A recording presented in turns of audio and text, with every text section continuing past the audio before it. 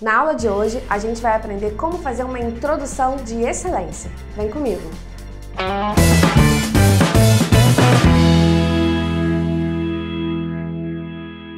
Oi, gente, tudo bem? Hoje a gente vai falar sobre a introdução, que é o primeiro parágrafo do texto e que, justamente por isso, cumpre duas funções muito importantes todas ligadas à mesma ideia, a ideia de levar para dentro, né? Que é isso que introdução significa. Ou seja, como que a gente vai trazer o leitor para dentro do texto. As funções, os objetivos principais aí da introdução são, portanto, apresentar duas coisas: apresentar o tema e apresentar a opinião sobre o tema, certo? Ou seja, apresentar a tese, tá? Para cumprir essas duas funções, a introdução vai ter essa estrutura que está aparecendo aí na sua tela. Primeiro, a parte que a gente chama de contextualização. A contextualização é o conjunto de duas ou três frases que cumpre o primeiro objetivo, dizer qual é o tema, qual é o assunto dessa redação. E a tese, a segunda parte, é normalmente uma frase, a última frase desse parágrafo, em que você vai colocar a opinião que vai ser defendida nesse texto. Agora, antes de a gente olhar como fazer cada uma dessas partes, é importante saber o que não deve acontecer na introdução. De jeito nenhum, tá? Primeiro, não se deve demorar muito a entrar no tema. Reparem, se a contextualização é a primeira parte da introdução e o objetivo dela é apresentar o tema, você não precisa ficar enrolando, falando muitas coisas, até tocar no ponto central ali proposto pela banca para você. Fala logo, certo? Então o objetivo é esse mesmo. Se quiser, na primeira linha, na primeira frase, você já pode dizer qual é o tema. Outra coisa que a gente não pode fazer, não dá para faltar a tese. Você não pode ser imparcial na introdução. Você tem que colocar na introdução o ponto de vista, a opinião, ok? Além disso, você tem que se preocupar com uma outra questão, que às vezes a galera se empolga dando a opinião e já começa a defender essa opinião, a argumentar. Não pode. O papel da introdução é só o de apresentar tema e opinião. Você só vai argumentar no desenvolvimento, que é a próxima parte do texto, ok? Agora sim, vamos dar uma olhadinha aí em como fazer algumas estratégias para apresentação do tema. Hoje a gente vai falar especificamente sobre isso. Algumas estratégias para contextualização, tá bem? A primeira delas é a estratégia tradicional. Na estratégia tradicional, o que, que acontece? Você vai colocar apenas frases de ambientação. É um texto mais denotativo, mais direto, né? mais comum de ser usado, inclusive, tá? Então, a gente não vai ter aqui nenhum recurso de criatividade, nada além do normal. Apesar de essa contextualização aí, então, tradicional, não usar recursos de criatividade, é importante também que a gente não recorra a clichês. Então, toma cuidado para não falar coisas como hoje em dia, na sociedade atual, sem necessidade, tá bem? Nenhuma informação aí que não acrescenta efetivamente nada para o seu texto é necessária. Vamos dar uma olhada num exemplo para isso ficar mais claro? Olha lá. Recentemente, voltou ao foco de discussões e debates a questão da posse de armas de fogo no Brasil.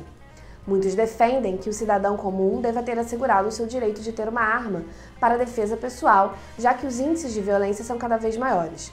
Embora sejam plausíveis as motivações para a flexibilização da posse de armas no Brasil, essa mudança tem mais contras do que prós. Observem aí na divisão de cores como que cada parte está sendo bem apresentada nessa, nessa introdução, né? Então, de verde, a gente tem a contextualização tradicional, uma vez que a gente usa frases diretas, genéricas também, e genéricas no sentido de não ter nenhum recurso de criatividade, né?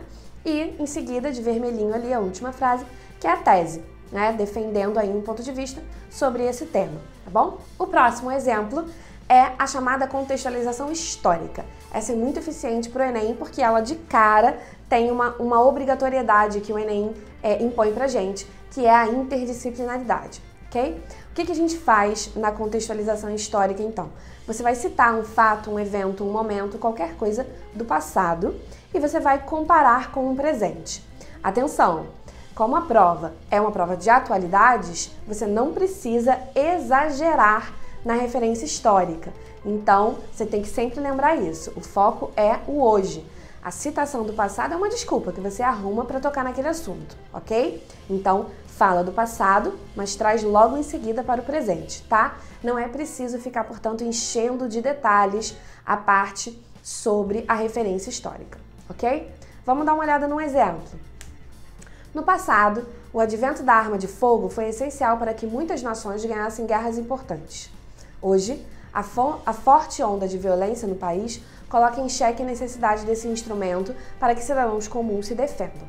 Embora sejam plausíveis as motivações para a flexibilização da posse de arma no Brasil, essa mudança tem mais contras do que prós. Observem aí de novo que a gente tem a mesma tese, não é? Para você poder perceber como é possível fazer mais de uma contextualização para o mesmo tema e para a mesma opinião também, tá?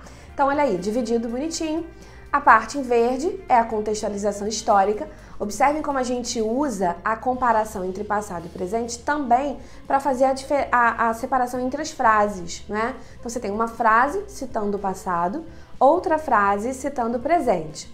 Outra coisa importante, eu comentei lá na contextualização tradicional que você não precisa falar hoje em dia, na sociedade atual, né, que são clichês. E aqui eu usei o hoje. Mas por que, que aqui o hoje é importante? Porque ele está marcando a mudança de tempo, né? Você tinha um tempo passado e você faz uma mudança para o tempo presente. Então aí ele não é desnecessário, ok? Outra questão interessante. Repara que a gente não fez a apresentação histórica com uma riqueza de detalhes muito grande. A gente só pegou uma informação que a gente sabe que é real, que existe, mas a gente não citou nem qual guerra foi importante a questão do advento das armas de fogo, tá? A gente fala de um jeito bem abrangente mesmo, porque o mais importante é a atualidade, tá bom? Isso é bom ficar bastante claro aí pra gente. Vamos ver o último exemplo, então, hoje, de uma contextualização aí com um recurso mais criativo, tá? A gente vai olhar hoje para contextualização conceitual. A conceitual é muito legal porque ela serve para você fazer aquela citação que você gosta de fazer, não é? Dá para fazer citação, dá para fazer outras coisas também. Qual é a lógica da conceitual? Você vai comparar a teoria com a prática, certo? Então, essa teoria pode ser a definição de um termo ou pode ser uma citação. Aqui a gente vai usar a definição, porque a gente vai trabalhar mais sobre as citações em outra aula, ok? Então, observem aí o exemplo. Entre outras definições, flexibilizar significa reduzir ou eliminar regras ou medidas coercitivas. O termo tem ganhado destaque ao se tratar da posse de armas de fogo no Brasil. Embora sejam plausíveis as motivações para a flexibilização da posse de armas de fogo no Brasil, essa mudança tem mais contras do que prós. Reparem aí, a gente pegou uma palavrinha aí da frase tema, que é a flexibilização da posse de armas no Brasil, e a gente definiu, teorizou flexibilização e depois comparou com a realidade, trouxe essa definição para a prática, que é a discussão da posse de arma, tá? Então, Fica uma estratégia bastante interessante aí, também diferente, que usa um recurso um pouco mais criativo do que fazer apenas a contextualização tradicional, tá bem? Espero que você tenha gostado. A dica que fica é, quando for treinar a redação, treina fazer várias contextualizações diferentes para o mesmo tema, para ver qual estilo se adequa mais ao seu, tá bom? Deixa seu like aí pra gente, deixa um comentário, segue a gente nas redes sociais, Facebook, Instagram, Twitter, que a gente está por lá ouvindo tudo que vocês têm a dizer, tá bem? A gente se vê na próxima semana. Tchau, tchau!